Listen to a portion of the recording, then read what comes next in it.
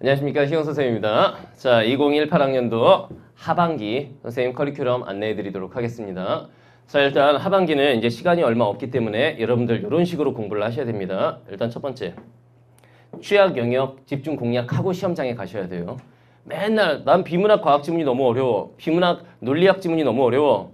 또는 나는 고전 시가만 원문으로 나오면 미쳐버리겠어. 맨날 이런 생각만 하고 있는데 생각만 하지 말고 그 부분에 대해서 반드시 채우고 보완 학습을 하고 시험장에 가셔야 됩니다. 그 다음 두 번째 EBS 파괴력 여러분들 6월 평가원 모의고사에서 느꼈을 테죠.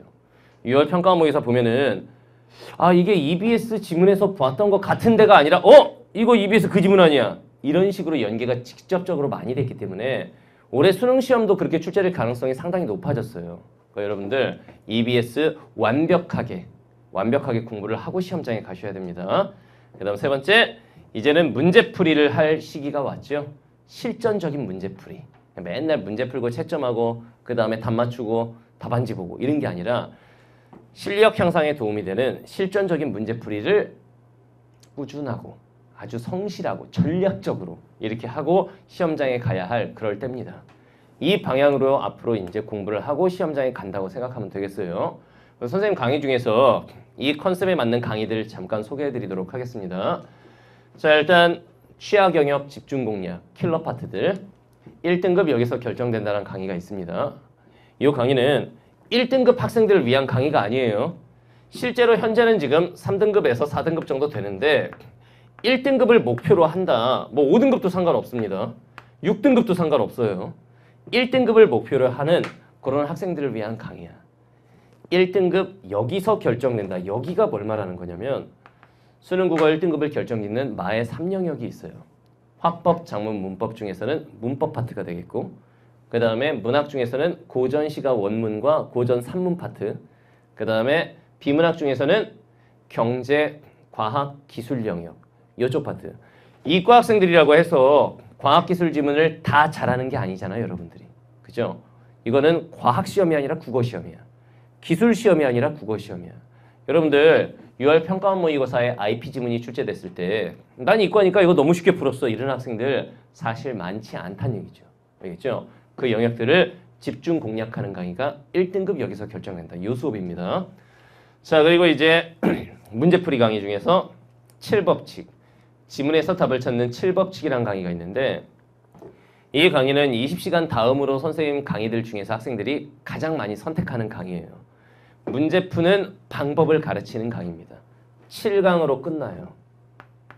7법칙이니까 7강 끝. 강의 볼륨 자체가 그렇게 크지 않기 때문에 편하게 들을 수 있는 강의야. 선생님, 그러면 7강 안에 뭐 가르치는 것도 별로 없겠네요. 그렇지 않습니다.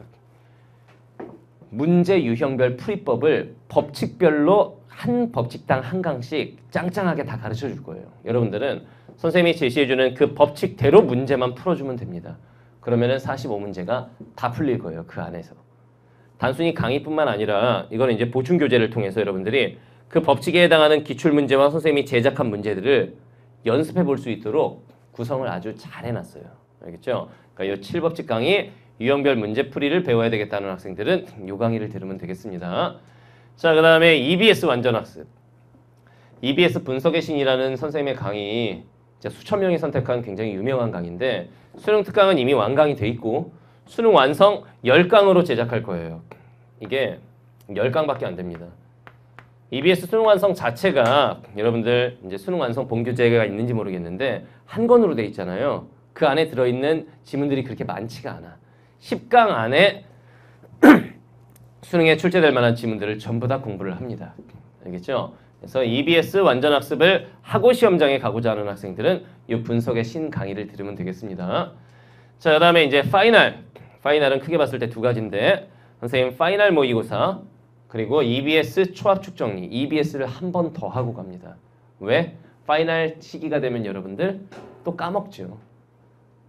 너무 많은 내용들을 공부하다 보면은 이 다른 과목도 공부해야 되잖아. 자꾸 까먹는 내용들이 생기기 때문에 EBS를 다시 한번 정리하고 시험장에 보낼 겁니다. 알겠죠? 그래서 final 모의고사 그 다음에 EBS 총 압축 정리 이 final 커리를 잘 따라오시면 되겠습니다. 강좌 수 자체가 많지가 않아요. 자 일단 4등급 이하 학생들 4, 5, 6, 7, 즉 4등급 이하 학생들은 요 커리를 따라오세요.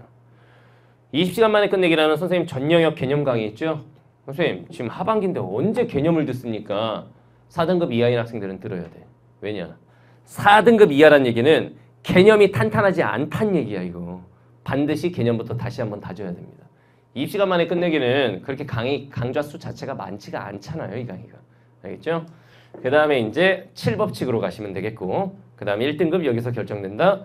EBS 물론 EBS 수능 특강을 그 분석의 신 강의를 들은 학생들은 수능 완성만 들으면 되겠죠. 그러니까 그 다음에 파이널 강의로 가면 되는데 중요한 건 이거죠. 주1회 모의고사를 선생님이 작년 11월부터 계속 강조를 했어요. 수험 생활을 시작하는 즉시, 즉 고2에서 고3이 되는 즉시 또는 재수를 마음먹, 마음먹은 즉시 반수하기로 마음먹은 즉시 일주일에 한 번씩 모의고사 연습을 해야 한다라고 했는데 그걸 실천하지 않은 학생들이 많은 걸로 알고 있어. 이제는 시간이 없어요. 하반기이기 때문에. 알겠죠? 여러분들 주일에 모의고사 반드시 따라오셔야 합니다. 이걸 다 듣고 이걸 하라는 얘기가 아닙니다. 이거 시작하는 동시에 이거는 동시에 따라가는 거예요. 알겠지? 자, 그다음에 3등급 이상의 학생들, 3등급, 2등급, 1등급 학생들은 20시간 건너뛰고 바로 그냥 7법칙으로 가시면 되겠습니다. 7법칙 7강을 통해서 7강 문제 유형별 풀이법을 다 배우고 그 다음 취약 영역 집중 공략 1등급 여기서 결정된다.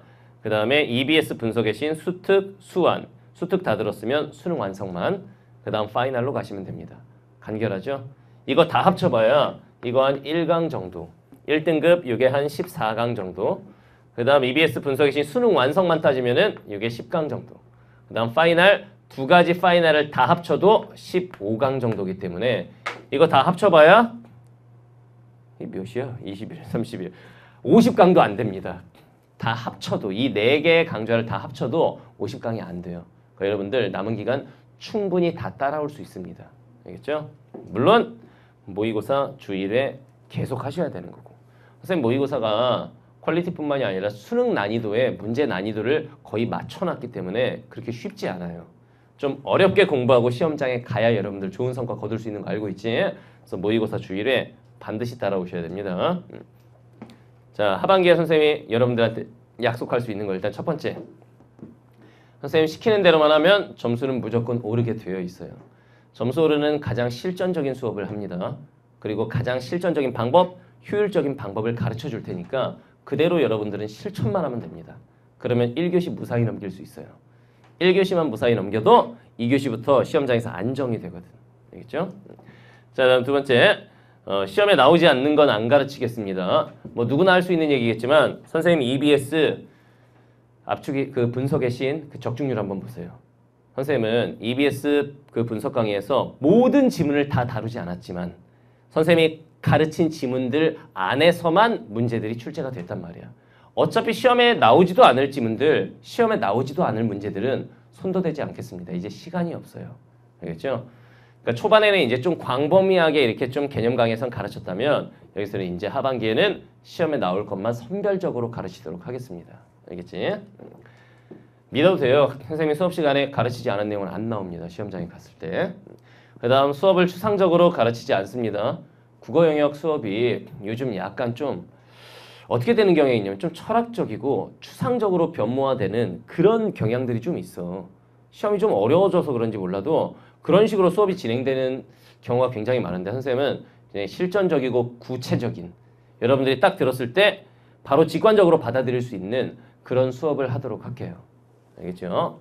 그러면서도 중요한 건 또 인강으로 수업을 듣다 보면은 지루하면 강의 못 듣겠죠? 그러면 중간중간 딴짓을 하게 되고 이럴 텐데 선생님 수업은 어떤 학생은 예능 보는 것보다 더 재밌대요. 무한도전보다 신영균 수업이 더 재밌답니다. 수업 자체를 지루하지 않게 진행합니다. 선생님 OT나 맛보기 강의 들어보시면 알 거예요. 여러분들이 인강으로 수업을 듣지만 마치 현장에 앉아 있는 듯한 느낌을 줄 수 있도록 계속 소통하면서 수업을 진행합니다. 수업 절대로 지루하게 하지 않습니다. 마지막으로 수험생 여러분들보다 더 치열하게 노력해야 됩니다. 그렇게 하고 있기 때문에 선생님이 지금 이 자리에 있을 수가 있어. 여러분들보다 더 많이 놀고 막 맨날 잠도 많이 자고 그러면은 절대로 이 자리에 올라올 수가 없었을 거야. 그래서 인강 시작한 순간부터 4시간 이상 잔 적이 거의 없어요. 항상 교재 만들고 강의 연구하고 수업 준비하고 이러기 때문에 여러분들보다 더 열심히 노력을 해서 여러분들에게 조금이라도 더 도움이 될 만한 그런 내용을 전달하도록 노력을 하겠습니다. 음. 자, 선생님 강의 모토 이겁니다. 진심으로 학생들을 가르치고 여러분들의 미래까지 함께 고민하는 그런 선생님이 되도록 하겠습니다. 자, 커리 안내는 이쯤에서 마무리하도록 하고 본 강의에서 봅시다.